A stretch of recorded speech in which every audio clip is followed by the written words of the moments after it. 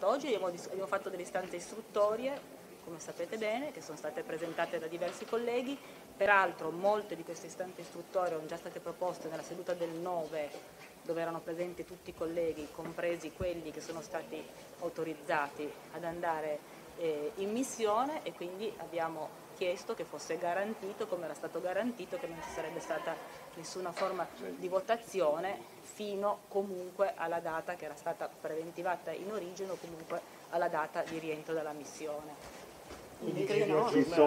Incredibilmente, incredibilmente ciò che era già stato proposto il 9 non è stato proposto in votazione il 9, proposto in votazione oggi quando mancano due membri della Giunta. Ha rivotato Quindi, anche Gasparri anche oggi? No, noi non abbiamo partecipato, partecipato al, voto. al, voto. perché riteniamo che la, la Giunta mancasse di due componenti, quale stato, era stato garantito che non ci sarebbero stati voti. Peraltro le istanze istruttorie erano anche molto serie e nascevano anche dalla eh, relazione eh, appunto, che ha proposto il Presidente Gasparri, che ovviamente è una relazione che viene votata non solo per il dispositivo, anche per le argomentazioni a sostegno, quindi una serie di interrogativi sono sorte eh, nei colleghi grazie anche alle argomentazioni che il Presidente trattino relatore ha proposto nella seduta appunto del 9 medesimo, quindi questo è quanto.